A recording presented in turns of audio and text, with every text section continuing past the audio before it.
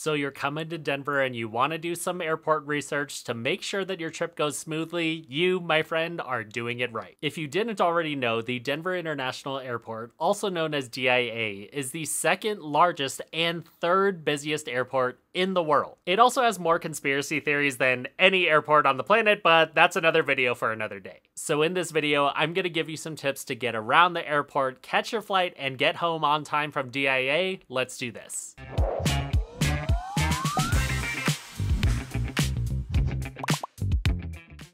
This could be the most important one, but DIA is not the airport where you want to cut things really close on time. Before I lived in Denver, I was always that person that showed up to the airport about an hour before my flight took off. Now, because of DIA, I get to the airport about 75 minutes, preferably 90 minutes before my flight. Similar to the also super busy Dallas airport, we have a train that takes you from the security checkpoint to your terminal, except for our train runs under the airport instead of outside of it. While you can walk from the main terminal to only the A gates, most people just end up taking the train because it will take you to the A, B, and C gates in the airport. So that means after you clear security, you're taking an escalator down, waiting for the train, getting on the train, getting off the train, and taking the escalator back up. This easily adds 5 to 10 minutes of airport time to your travel, and you really can't make things go any faster. So if you don't time things right, when you pair the train with the fact that the airport is really big,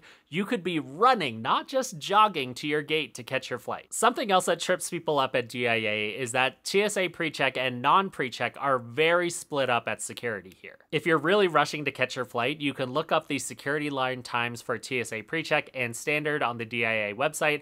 I'll link to it somewhere on the screen here and I'll also put that in the description. So if you have PreCheck, you'll check in on one side of the airport and if you don't, you'll check in all the way on the other side. The line obviously moves faster on the pre-check side, but not a lot of airports are completely split up like this like DIA. You'll save yourself some stress if you remember that the north side is for pre-check, the south side is for standard, and then you can jump on that train. When you're visiting Denver, one of the great parts about DIA is that you can get directly to and from the airport by taking the A line that you can take from Union Station in downtown Denver. Right now, a light rail ticket to the airport costs $10.50 and trains leave about every 15 minutes or so. When you compare that to about a $50 Uber or Lyft ride from the airport to downtown Denver, that can help you save some money. From Union Station, it takes about 40 minutes to get to the airport by light rail, so just in case you arrive at exactly the wrong time when a train has just left, I would recommend getting to Union Station about 60 minutes before you want to get to the airport. And if you know that you're going to be taking the light rail while you're in Denver, there's an RTD mobile tickets app that you can use to buy tickets on your phone instead of going to a machine. It's pretty simple to use, and the good part is that you can buy a ticket for the train literally as it's arriving. In my opinion, one of the most confusing parts about DIA is the levels. At some airports,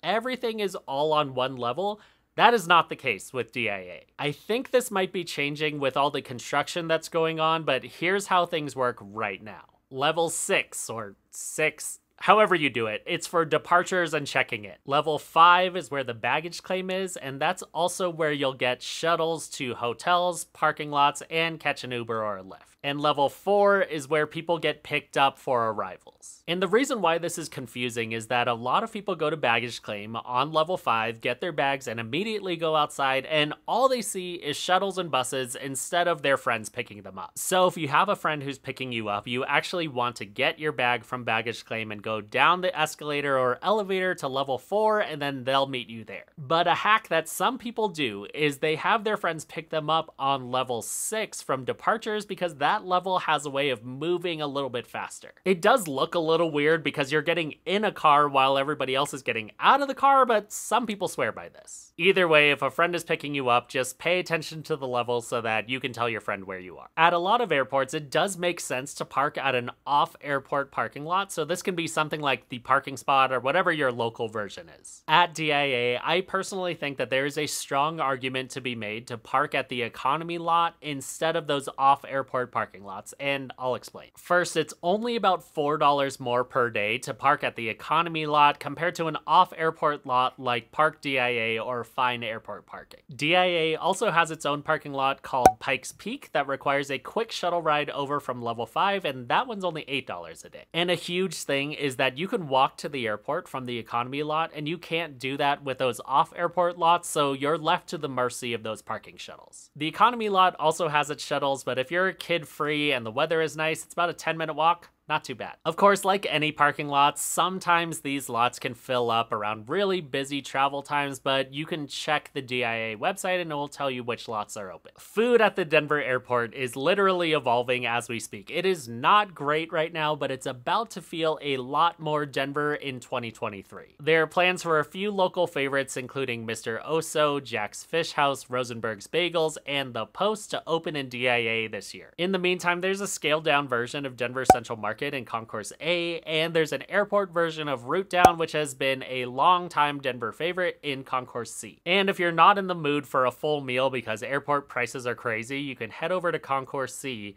and grab some ice cream from Little Man Ice Cream or a beer at Great Divide Brewing. And you'll notice this immediately, but DIA basically always feels like it's under construction. In theory, the construction at DIA will be done in 2028, but it will probably be like 2030 because that's how things work. So even if you've been to DIA, I don't know, like two or three years ago, the way that you got around might have changed because things are opening up and changing along the way. It's actually kind of incredible when I think about all of the different routes that I I've taken around the airport in the past few years, and this is another reason why it's important to get to the airport a little bit early because you might have to take the long way around because of construction. So depending on your gate, you'll probably see the older regular parts of the airport, and you'll also probably see some of the new parts. So if it feels like the airport can't decide what it wants to look like, it's because that construction is happening right now. The new parts are obvious. They're much bigger, brighter, the ceilings are taller. They feel more like the modern parts of SFO and LAX, and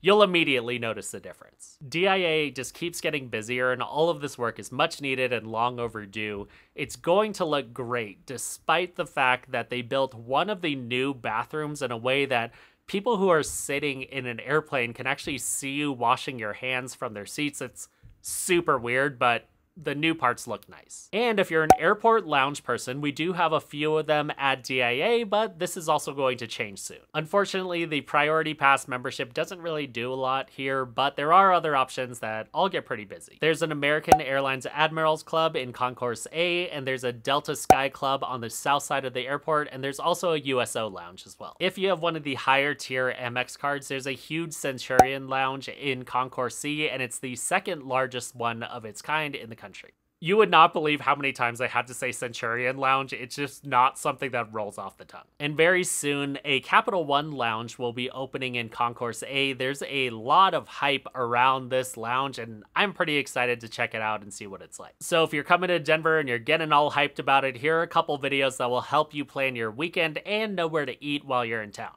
Check them out to have a great time in the Mile High City.